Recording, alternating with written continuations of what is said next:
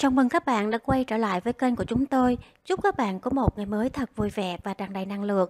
Và sau đây là nội dung chi tiết của kênh. Mời các bạn cùng chú ý đón xem và theo dõi. Vợ chồng Trường Giang hẹn hò tình tứ, Nhã Phương lộ dấu hiệu lão hóa. Trường Giang Nhã Phương có cuộc hôn nhân vô cùng hạnh phúc sau 4 năm về chung một nhà. Cặp đôi đã có con gái đầu lòng vô cùng đáng yêu và vẫn thường xuyên hẹn hò hâm nóng tình cảm.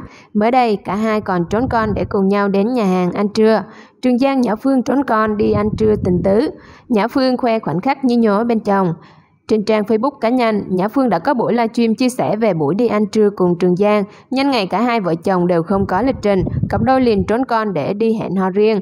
Trường Giang, Nhã Phương đến nhà hàng của mình để cùng nhau ăn bữa trưa và livestream trò chuyện cùng khán giả. Vợ chồng Trường Giang vừa ăn trưa vừa trò chuyện với khán giả.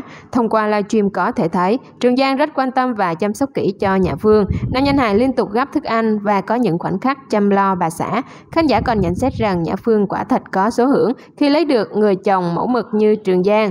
Trường Giang chú đáo gấp đồ ăn cho bà xã và quan tâm hết mực. Vợ chồng nam danh hài thường xuyên đi hâm nóng tình cảm. Khung ảnh ngọt ngào của Trường Giang, Nhã Phương. Tuy nhiên, Nhã Phương vẫn bị lộ dấu hiệu lão hóa thông qua buổi livestream này. Nữ diễn viên dùng các bộ lọc có sẵn để làn da được mịn màng hơn.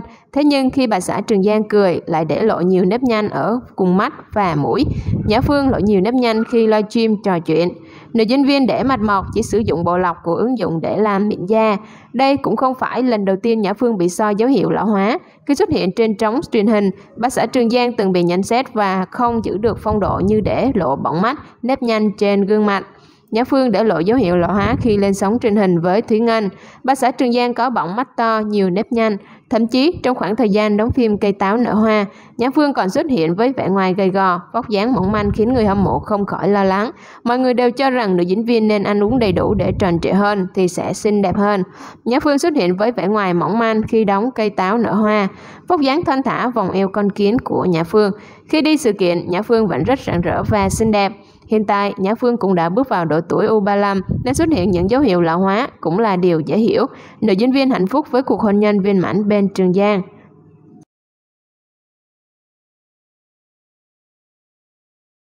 Bản tin của chúng tôi đến đây đã kết thúc. Cảm ơn các bạn đã quan tâm và theo dõi. Hẹn gặp lại các bạn ở những bản tin tiếp theo.